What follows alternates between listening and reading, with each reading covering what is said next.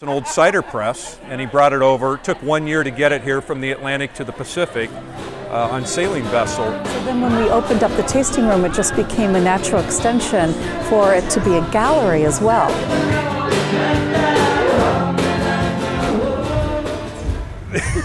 That's right, exactly. We don't promote the use of underage children unless they're family. We, we did two. We did two movies for Disney actually. Cheers. I should have a glass. Hang on. Hang on.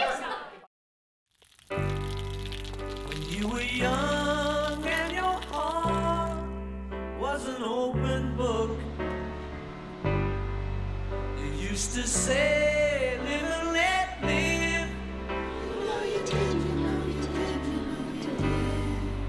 But if this ever changing world in which we live in makes you give in